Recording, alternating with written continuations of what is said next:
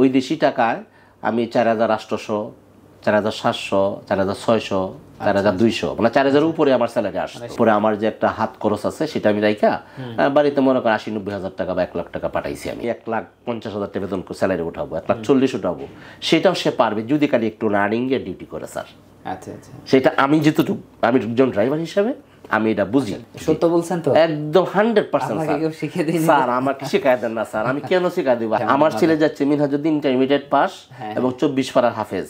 আচ্ছা। ছয় মাস বসতে হবে আপনি একটা ড্রাইভিং লাইসেন্স আপনি যদি বাংলাদেশে কোনো একটা সেনাবাহিনীতে চাকরিতে যদি ঢুকেন ছয় মাস কি ট্রেনিং আছে না? ছয় মাস ট্রেনিং করলে ট্রেনিং এর বেতন দেয় এগারো হাজার টাকা। তো এই টাকাটা আপনি কষ্ট করতে হবে না কষ্ট করে তো আপনি সৈনিক হইতে হবে। আসসালামু আলাইকুম। ওয়ালাইকুম আসসালাম। জি ভালো। আমাদের এই যে মোস্তফা কামাল ভাই ওনার বাসা হচ্ছে কিশোরগঞ্জ। উনি দুবাই ট্যাক্সিতে আহ, প্রায় বারো বছর ছিলেন দুই হাজার আট সাল থেকে দুই হাজার বিশ সাল পর্যন্ত ডিসেম্বরের চোদ্দ তারিখ পর্যন্ত ছিলাম। ছিলেন। জি। তো উনি দেশে আসছে তো ওনার মুখ থেকে আমরা কিছু মূল্যবান কথা শুনব যারা দুবাই ট্যাক্সিতে যেতে চান গিয়েছেন বা দুবাই ট্যাক্সি নিয়ে জানতে চাচ্ছেন ইনশাল্লাহ সঠিক তথ্য ওনার থেকে আপনি পাবেন। উনি অনেক ভালো মানুষ ভালো মনের মানুষ। আমি ওনার সাথে কিছু সময় কথা বলেছি। তা আরও কিছু প্রশ্ন জানতে চেয়েছি এবং সেটা ভাবলাম যে ভাইয়ের সাথে করে সরাসরি আপনাদেরকে নিয়ে কথা বলি। তাহলে আপনারাও জানতে পারবেন। জি স্যার। দুই হাজার আট সালে গিয়েছি জি দুই হাজার আট সালে। জি স্যার। সেই সময় যেতে কেমন সময় লেগেছিল? অ্যাকচুয়ালি স্যার আমি মনে করেন এই যে ক্যান্টনমেন্ট থেকে একটা ডেলিগেট আসছিল। সেই ডেলিগেটের মাধ্যমে আমি এর আগে আমি দুবাইতে ছিলাম। আমি হাউস ড্রাইভার ছিলাম। তো আমি যখন তখন উত্তরাতে একটা চাকরি করতাম। আমার অফিস ছিল এই পান্থপথ ইউটিসি বিল্ডিং এ। তো ওইখানে চাকরি করতাম। আর স্যার ডেলি স্টার পেপার পড়তো। তখন আমি নিউজে দেখছি আর কি। আমরা ভাইয়ের কাছ থেকে কিছু প্রশ্ন নিব অনেক কিছু জানব ভাইয়ের থেকে। তো ফার্স্টেই জানি আপনি ছিলেন তো বারো বছর জি স্যার জি। বারো বছরের মধ্যে দুইটা ভাগে ভাগ করি দুই হাজার আট সাল থেকে পনেরো সাল পর্যন্ত গড়ে মান্থলি কেমন ইনকাম হতো? অ্যাকচুয়ালি স্যার আমি তো মনে করেন মান্থলি গড়ে মানে ইনকাম হয়েছে আমার পঁয়ত্রিশ পার্সেন্ট আমি করছি আর কি স্যার। পঁয়ত্রিশ পঁয়ত্রিশ পার্সেন্ট করছি। জি স্যার। আচ্ছা আচ্ছা। এরপরে আমি কখনো ছয়ত্রিশ পার্সেন্টও করছি আর আমাদের আমলে তখন সাঁত্রিশ পার্সেন্ট ছিল না স্যার। ছিল না পঁয়ত্রিশ ছিল এবং ছয়ত্রিশ ছিল। ছয়ত্রিশ কিছুদিন পরে হয়েছে আচ্ছা। পঁয়ত্রিশে ছিল সর্বোচ্চ। তো এবং তিরিশ পার্সেন্টও ছিল হ্যাঁ পঁচিশ ছিল এরকম ছিল আর কি যে যেরকম মানে এই পনেরো সাল পর্যন্ত গড়ে বাংলাদেশি টাকা কেমন ইনকাম হয়েছে? বাংলাদেশি ইনকাম স্যার অ্যাকচুয়ালি সত্যি কথা বলতে হ্যাঁ, কি এটা তো সত্যি কথাই বলতে হবে যেহেতু আমি আমি ক্যামেরার সামনে বসছি। তো আমি মনে করেন ওই দেশি টাকায় আমি চার হাজার আটশোশো চার হাজার সাতশো চার হাজার ছয়শো চার হাজার দুইশো মানে চার হাজারের উপরে আমার স্যালারি মানে সাড়ে চার হাজার প্লাস হ্যাঁ হ্যাঁ হ্যাঁ জি জি জি চার হাজার থেকে পাঁচ হাজারের মধ্যে হ্যাঁ হ্যাঁ জি জি স্যার জি জি জি আচ্ছা। এর মধ্যে আমার একুমোডেশন থাকার টাকা কোম্পানি কেটে নিত। আচ্ছা। এরপরে আমার যে একটা হাত খরচ আছে সেটা আমি রাইখা বাড়িতে মনে করেন আশি নব্বই হাজার টাকা বা এক লাখ টাকা পাঠাইছি আমি প্রতি মাসে। জি স্যার। তখনকার দেড়হাম অনুযায়ী এখন যদি সেই দেড়হাম হতো তাহলে তো যদি এখন পাঁচ হাজার দেড়হাম হয় তাহলে তো এক লাখ সত্তর হাজার টাকার কাছে। চৌত্রিশ টাকা দেড়হাম রেট তখন দেড়হাম রেট কত ছিল? আমি আইছি বাইশ দেড়হাম স্যার বাইশ ছিল। আমি দুই হাজার বিশ ছিল বাইশ। হ্যাঁ বারো বছর থাকছেন আপনি আর এখন দেড়হামের দাম বারো টাকা বেড়ে জি স্যার জি জি। আচ্ছা। আচ্ছা। এবার পনেরো সাল থেকে বিশ সাল পর্যন্ত এই পাঁচ বছরের মধ্যে কেমন ইনকাম ছিল? ইনকামটা স্যার একটু লো হয়ে গেছিল।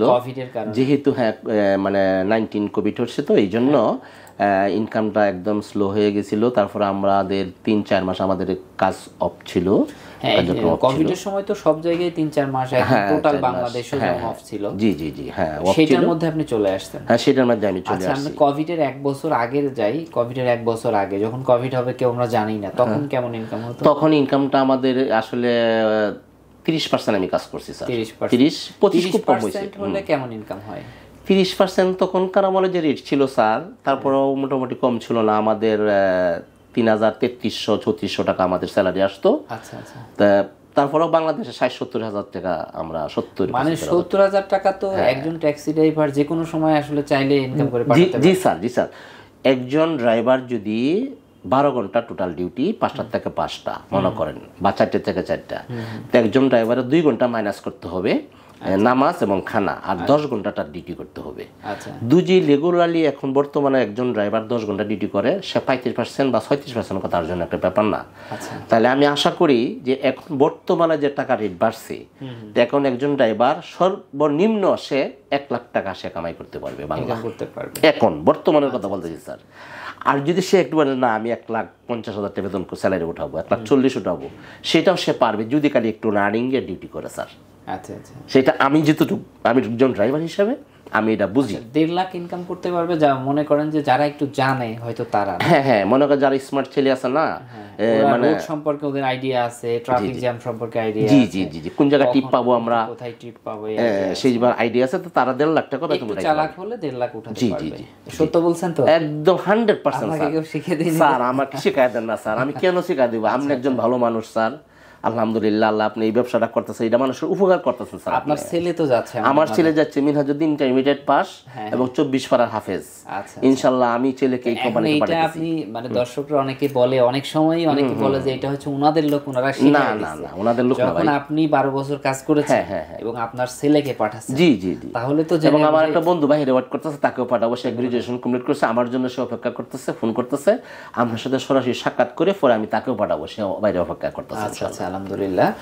তো এটা আপনি এতদিন থাকার পরে জেনে বুঝে অনেকে বলছে বিপদের দিকে ফেলে দিচ্ছে ইম্পসিবল কখনো না। ওই যে আপনার ছয় মাস বসে থাকতে হবে? না ছয় মাস বসতে হবে। আপনি একটা ড্রাইভিং লাইসেন্স আপনি যদি বাংলাদেশে কোনো একটা সেনাবাহিনীতে চাকরিতে যদি ঢুকেন ছয় মাস কি ট্রেনিং আছে না? ছয় মাস ট্রেনিং করলে ট্রেনিং এর বেতন দেয় এগারো হাজার টাকা। তো এই টাকাটা আপনার কষ্ট করতে হবে না কষ্ট করে তো আপনি সৈনিক হইতে হবে। তারপর তো আপনার প্রায় একুশ হাজার টাকা বেতন গভর্নমেন্ট দিবে বাংলাদেশের তো এখন আমি যদি কোম্পানি দিই এটা হলো একটা সেমি গভর্নমেন্ট কোম্পানি মানে ডিটিসি দুবাই ট্যাক্সি কর্পোরেশন তো সেখানে যেতে হলে আপনার সরকারি গভর্নমেন্ট রুল অনুযায়ী আপনার কাজ করতে হবে এবং আপনার ড্রাইভিং লাইসেন্সটা বের করতে কেউ লাগে দুই মাস কেউ তিন মাস কেউ চার মাস। স্যার এমনও লোক আছে আমাদের বাংলাদেশে একটা লোক দেড় বছরের লাইসেন্স পাইছে আমি চাকরি করব ডিটিসিতে হ্যাঁ আমার মামা দেড় বছর চাকরি করবে আসবে না চাকরি করছে। আচ্ছা আপনি বললেন দুই মাস লাগে চার মাস লাগে এমন দেড় বছর কেন আচ্ছা এইটা হলো স্যার ব্যক্তিগত ব্যাপার সম্পূর্ণ তার পার্সোনাল বিষয়। সে যদি ভালো কাজ করে তার ব্রেন ভালো থাকে সে সব কিছু বুঝবে রুট সম্পর্কে উস্তাত্তকারিতে থাকে। বৈদেশিক উস্তাদ থাকে পাকিস্তানি আছে ইন্ডিয়ান আছে।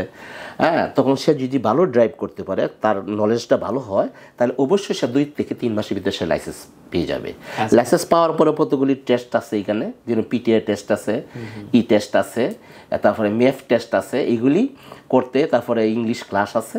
এগুলি করতে হয়তো সব মিলে মনে করো আরও দুই মাস বা তিন মাসের মতো আইডি বানাইতে হবে এমএলএ আইডি বানাইতে হবে তিন মাস ধরে। তা তিন মাস আর তিন মাস ছয় মাস সর্বোচ্চ আট মাসের মধ্যে সেই লোকটা তার কমপ্লিট হয়ে যাবে। আচ্ছা আপনি আপনার ছেলেকে তো এই আট মাস চিন্তা করেই পাঠান অবশ্যই শিওর আমি তো জানি আমি সেটা ক্লাস করাইছি তো। আচ্ছা, আর ক্লাস করে তাকে বুঝাই দিয়েছি কাউকে সমস্যা নাই। আচ্ছা দুবাই ট্যাক্সির মানুষ আপনাকে চিনে তো বা আপনি আমার নামটা মোস্তফা সারা বিশ্বে চিনে শুধু খালি দুবাই মানুষের চিনেন আমার অনলাইনে অনেকবার ফটো উঠানো হয়েছে। ডাইরেক্টরের সাথে হিনচিপ করছি খানা খাইছি এই কোম্পানির যে মেন মালিক আচ্ছা আচ্ছা। এবং এই যে শেখ হামদান যে আছে এই দেশের যে সরকার সরকারের ছেলে ক্রাউন প্রিন্স তার সাথে আমার সাক্ষাৎ হয়েছে আচ্ছা এই যে আমার সাথে ছবি যাদের ইনাদের চিনেন তো? চিনবো না মানে বলেন কি? সবগুলির আমি চিনি এবং আমার চেহারা তো স্যার আপনি হন্দে আমার চেহারা শুকায় গেছে আমি। আমার চেহারা ছিল একদম লাল টুকটুয়া তখন তো আমি তিন বছর দেশে আসছি স্যার।